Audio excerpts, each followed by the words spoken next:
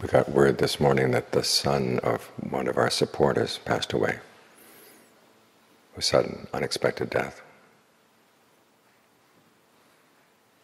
And the Buddha has us reflect every time we see a death or we learn of a death, that it could come to us. Are we ready? Each morning when the sun rises, he tells you to ask yourself, am I ready to go today? This might be my last sunrise. And if you're not ready to go, why? What things in the mind are still holding you back?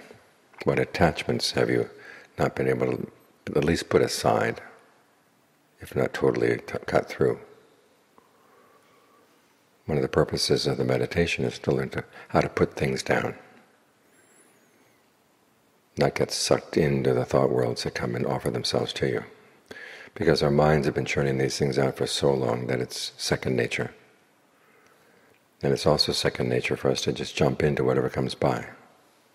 We may be a little bit selective, but not always. And the question is, do these thought worlds really take you where you want to go? Can you learn how to put them down? Put them aside.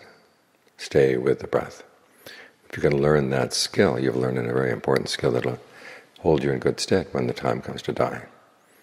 It's going to come at you unexpectedly. Even if you had a long illness, the actual moment of death doesn't come with warning. There's a lot of things you have to learn how to put aside, put down, put away. Not let your mind get fastened on them.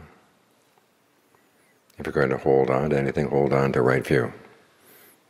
The view that what you do, the choices you make are important right now.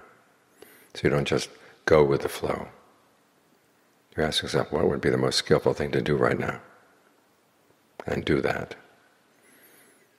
This is what the meditation is for, to learn how to make skillful choices and stick with them, even when they're difficult. That way when matters of life and death come up, you can make the skillful choice and stick with it because you've had practice. This is why we call it practicing meditation. Someday you'll have to perform. But right now, practice as much as you can, with as much skill as you can. That way you can set to be heedful. And so when the question comes up, when the sun rises or the sun sets, this is my last sunrise perhaps, perhaps this is my last sunset, am I ready to go? And the mind says, yep, ready. Then you have nothing to fear.